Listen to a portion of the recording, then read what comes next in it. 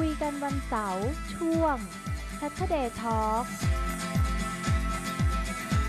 สนับสนุนโดย ธนาคารอิสลามแห่งประเทศไทย วันนี้ผมอยู่กับแพทย์หญิงพักพิไลทวีสินครับ แพทย์ผู้เชี่ยวชาญด้านความงาม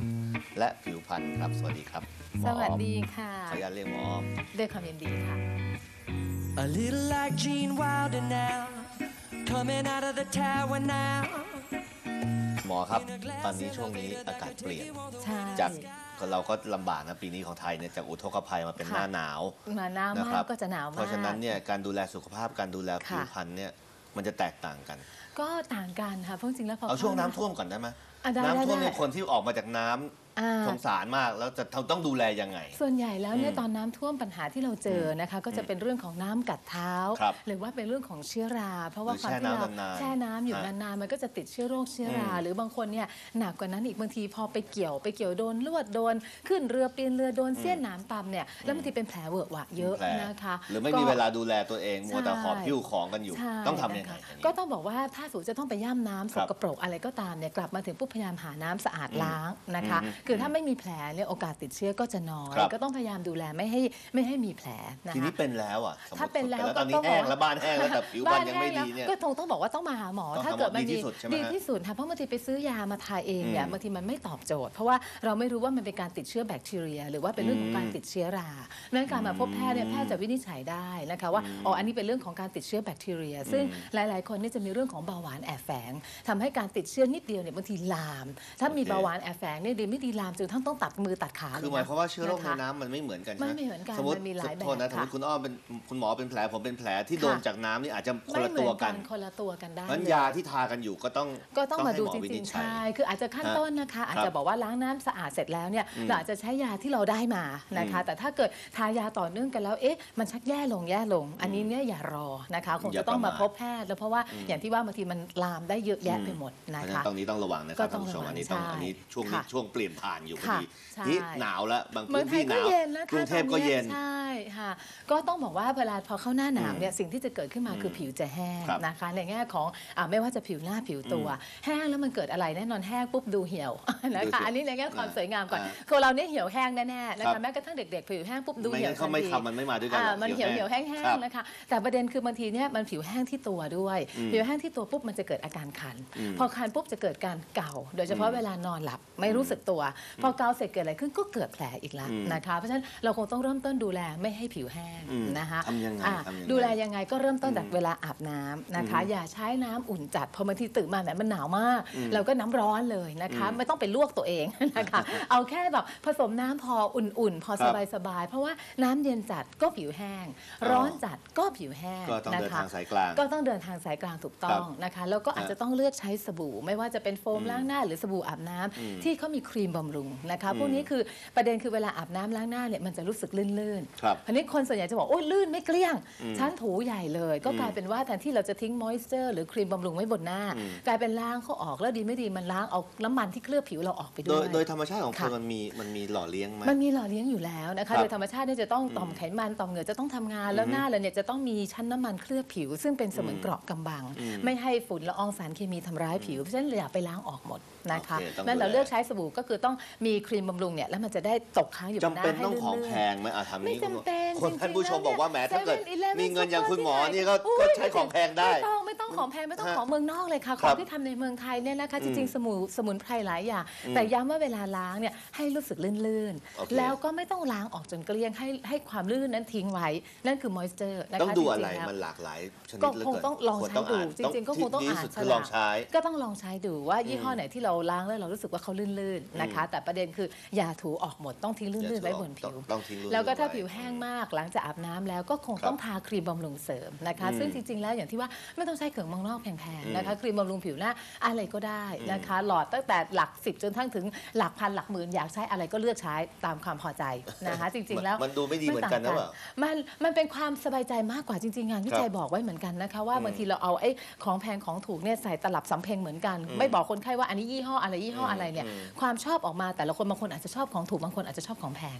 อืมอืมนะคะมันก็หรือแล้วแต่เอาง่าย ๆเลยใช้พวกเขาเรียกว่าไวท์เพทโทลาตุม นะคะอย่างเช่นวาสลินวาสลินเนี่ยมันกลายกลายเป็นคำกลาง แล้วไม่ใช่แปลว่าต้องยี่ห้อวาสลิน เออแต่ลักษณะที่มันเหมือนกับวาสลินเป็นน้ำมันคือมันเป็นน้ำมันขี้ผึ้งขี้ผึ้งมันเป็นขี้ผึ้งอะนะคะ ซึ่งที่เราอาจจะบางอย่างใช้ทาปากนะคะอืมแต่ถ้าใครผิวแห้งมากๆเนี่ยทาเคลือบผิวที่หน้าได้เลยก่อนนอนนะคะ หรือว่าทามือทาตามตัวดีนะที่คะ สุด ดีที่สุดเพราะว่ามันจะช่วยอ่าป้องกันไม่ให้น้ำมันระเหยออกไปจากผิวหนังเรานะคะเดียวกันก็จะช่วยให้ผิวเรามีความชุ่มชื้น เพียงแต่ว่าค่อนข้างเหนอะหนะนะคะหรือจริง ๆ น้ำมันมะกอกอะใหม่ล่าสุดนี่จริง ๆ แล้วงานวิจัยบอกเลยว่านอกจากน้ำมันมะกอกซึ่งเราต้องมะกอกมันของเมืองนอกของเมืองนะนอกนะคะ น้ำมันมะพร้าวอ่าอ่านะคะ จะเคยเห็นนะเขาบอกฮิตคะมากตอนนี้ฮิตมากเพราะว่าครับน้ำมันมะพร้าวไปเป็นมาๆเนี่ยเป็นน้ำมันธรรมชาติอืมเขาเรียกมีดิมเชนไตรกลีเซอไรด์อืมกินก็ได้ทาก็ดีอ่านะคะแต่ว่ามันคงจะคงระแบบรูปฟอร์มนะ อย่าเอาประเภทไอ้ฟอร์มที่เราใช้กินเนี่ยคือเราถ้าเอาเขามาทาเขาได้ขายเป็นทาอย่าไปกินแต่ถ้าใช่ใช่อย่าไปทานอย่าเอาไปกินถูกต้องถ้านะคะ แต่ถ้ากินอาจจะเอามาทาได้เออนะอยากใช่ถูกต้องาโเคนะคะ ทีนี้พอพูดถึงกินกันก็ต้ององถามคุณหมอเหมือนกัน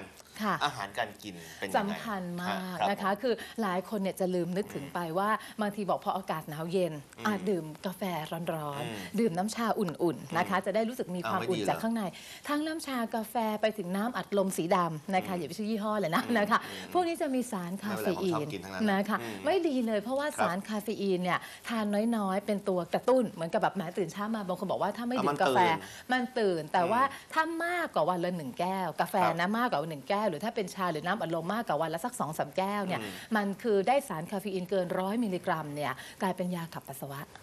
อ่าอ่าพอขับปัสสาวะปุ๊บเนี่ยเราก็ขาดน้ำอ๋อยิ่งแห้ผิงวเข้าไปมันใหก็ญ่จะยิ่งแห้งนะคะอืมเคยมีคนไข้บางท่านคุณผู้หญิงบอกว่าโอ้โหผิวแห้งเหลือเกิน ไม่ต้องครับหน้าหนาวเนี่ยแห้งตลอดทั้งปีอืมแล้วก็บอกโอ้โหใช้ครีมบำรุงของเครื่องสำอางเมืองนอกกระปุกละเป็นหมื่นนะคะมันก็ไม่ดีขึ้นทำทุกอย่างแล้วไม่ดีขึ้น นั่งคุยกัน 2 นาทีจับได้ว่าคุณเธอดื่มน้ำเปล่าไม่เป็น คือกาแฟเช้ากาแฟบ่ายแล้วทั้งวันคือชาจีนชาเขียวตลอดทั้งวัน ไม่เคยดื่มน้ำเปล่าเลยนะคะเพราะฉะนั้นเพราะฉะนั้นน้ำเปล่านี่ดีที่สุดดีที่สุดนะคะหมายความว่าผมผมแต่ผมกินกาแฟกินน้ำอัดลมกินชาเนี่ยอย่างที่คุณค่ะหมอว่าเนี่ย มันก็มีน้ำไม่ใช่เหรอในไม่นั้นไม่น่ะ แต่มันสารคาเฟอีนมันทำให้คุณสมบัติของน้ำมันหายไป เพราะว่าเราดื่มกาแฟที่มีสารคาเฟอีนเข้าไปน้ำที่เราได้เนี่ยมันถูกขับออกหมด นะคะ ต้องขอเป็นน้ำเปล่านะคะบางตำราบอกเลยว่าถ้าอยากดื่มกาแฟหนึ่งแก้ว สมมติแหมบางคนบอกติดแล้วอะมันไม่มันไม่ได้กาแฟมันเครื่องมันไม่เดินทำงานไม่ได้ ขอน้ำเปล่าวันละตะตามเลยทันทีสองแก้ว นะคะ คือถ้าจะด่าดื่มกาแฟหนึ่งแก้วแต่ถ้ากินจะทานน้ำกินเป็นน้ำเปล่าดีที่สุด น้ำเปล่าดีที่สุดคือฮะถ้าบอกว่าอยากอุ่นๆ ก็น้ำอุ่นนะคะ ต้มน้ำเสร็จแล้วเราก็ดื่มน้ำอุ่นๆ ร่างกายเราก็อบอุ่นตามไปด้วยอานะหารคะ อย่างอื่นล่ะ อาหารอย่างอื่นต้องย้ำว่าต้องขอทานผักสดกับผลไม้เยอะๆนะคะ เพราะว่าพวกผักสดกับผลไม้เนี่ยจะมีสารต้านอนุมูลอิสระ มีวิตามินที่เรารู้จักโดยเฉพาะอย่างยิ่งวิตามินซีเพราะช่วงหน้าหนาวทานง่ายๆผิวพรรณผิวแห้งละในแง่ของสุขภาพร่างกาย แล้วเห็นว่าหน้าหนาวปุ๊บเดี๋ยวก็เป็นหวัดนะคะเพราะว่าอ่าร่างกายเราอาจจะขาดความอบอุ่นใช่ติดเชื้อได้ง่ายฮะนั้นการที่รับประทานผักสดผลไม้ทานส้มทานอ่ามะละกอทานสับปะรดอะไรก็ตามเนี่ยมีทั้งวิตามินซีมีสารต้านอนุมูลอิสระเยอะแยะไปหมดที่ช่วยให้สุขภาพร่างกายเราแข็งแรงนะคะ แต่ย้ำนิดนึงว่าถ้าคุณผู้หญิงอยากจะดื่มบอกดื่มเป็นน้ำผลไม้ได้ไหม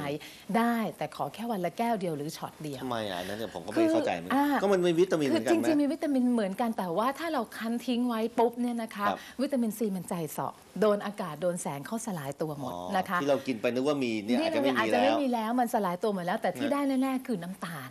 นะคะแล้วก็จริงๆแล้วมีคนไข้หลายคนบอกว่าอุ้ยดื่มน้ำทำไมน้ำหนักขึ้น บางทีพอซักประวัติคุยกันดีๆเนี่ยดื่มน้ำผลไม้วันละ3 4 แก้วอืมแก้วใหญ่ ๆ แก้วหนึ่งเนี่ย250 แคลอรี่ซึ่งเรานึกว่าจะได้วิตามิน ใช่ จริงๆ วิตามินอาจจะไม่เหลือ แต่คุณได้พลังงานได้น้ำตาลส่วนเกิน เพราะฉะนั้นถ้าอยากดื่มต้องแบบคั้นสดปุ๊บดื่มปั๊บอันนั้นเนี่ยจะมีประโยชน์ยังมีวิตามินมีอ่าสารต้านอนุมูลอิสระชะลอความเสื่อมความชราบำรุงผิวพรรณแล้วก็มีเอนไซม์คือเป็นตัวที่ช่วยให้ผิวเราทำงานได้ดีและช่วยสุขภาพร่างกายอ่าง่ายต้องมากคั้นสดก็ไม่นะคะยากก็ไม่ยากอันนี้หรือเปล่านี่ ตอนข้างคำถามสุดท้ายเนี่ยค่ะ เคล็ดลับความงามคุณคุณหมอเนี่ยทำไมยังสวยอยู่ได้ตลอดเวลา แหมขอบพระคุณ รู้จักกันตั้งแต่สาวๆก็ยังสาวอยู่ ก็ยังสาวอยู่สาวเหลือน้อยลงไปหน่อยนึงนะคะแต่ยังพอมีความเหลืออยู่ทำอย่างนี้เปล่ากินน้ำต้กินอย่างเงี้ยดื่มน้ำแบบค่ะปกติก็คือนี่เยคือชีวิตปกติชีวิตเลยปใช่กไหม ติคือเนี่ยเพิ่งกลับมาจากลาสเวกัสเนี่ยนะอืมเพื่อนที่ไปด้วยบอกว่าเออฉันเพิ่งรู้ว่าฉันมากับอูด คือเป็นคนที่ดื่มน้ำเยอะมากนะคะ คือผู้หญิงบางคนอาจจะบอกว่าไม่อยากดื่มน้ำเพราะอะไรกลัวเข้าห้องน้ำอืมแล้วพอเราไปนู่นมานี่พวกห้องน้ำไม่ใช่สะอาดไม่ไม่สะกล้าไม่สะเข้าดวกอ่า บอกจริงๆเนี่ยเราต้องฝึกตัวเราเอง คือเราดื่มน้ำเสร็จเนี่ยยังไงเราก็ต้องเข้าห้องน้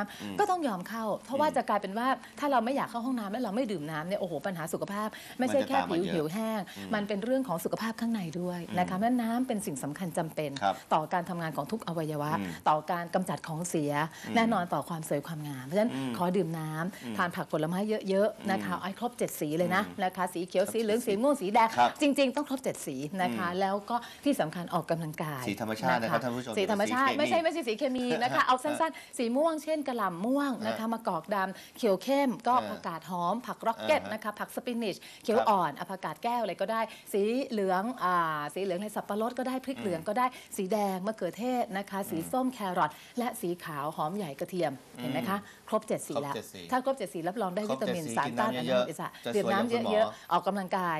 นอนหลับพักผ่อนให้เพียงพอ ที่สำคัญคือมองโลกในแง่ดีสุขภาพจิตแจ่มใสอ่า จบเลยจบเลยนะนอนคะหลับได้แล้วครับวันนี้ขอบคุณคุณหมอมากเลยนะครับได้ค่ะคุณนาให้ขคอวาบมรู้คุณค่ะ